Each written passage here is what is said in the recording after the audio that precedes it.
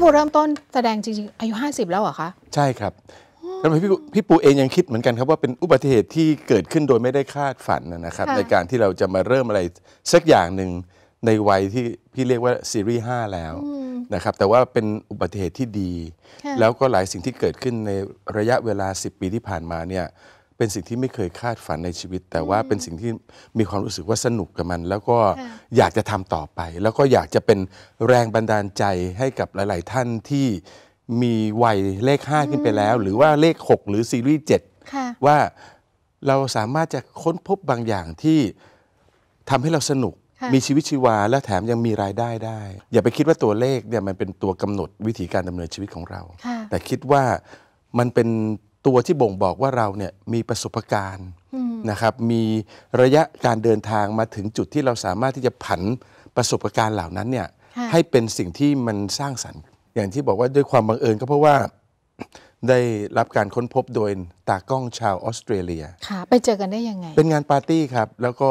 ตากล้องท่านนี้ก็เห็น คุณพอจะมาเล่นหนังเป็นตำรวจให้กับผมสักเรื่องได้ไหม พอเขาพูดว่า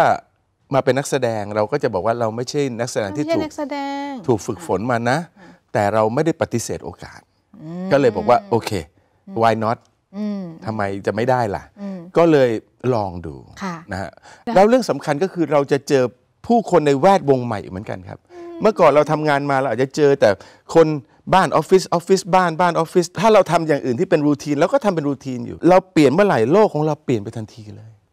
นะครับแล้วถ้าเปลี่ยนไปในทิศทางที่บวกแล้ว เราจะเจอแต่สิ่งบวกๆกลับเข้ามาหาเราแน่นอน คือมันไม่ใช่แค่เพียงแค่ภาพยนตร์นะฮะอาจจะเป็นทุกอย่างที่คุณทำพี่ปูจะพูดเสมอว่ามันอาจจะดูเหมือนว่าสายเกินไป ที่จะเริ่มอะไรตอนอายุ 50 60 หรือ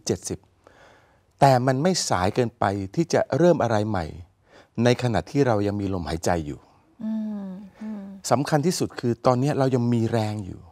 เรายัง ปกติอยู่ เรายังมีมือมีเท้าที่จะทำอะไรได้อยู่ เรายังมีสมองยังมีปัญญาอยู่ ใช้สิ่งเรามีอยู่และ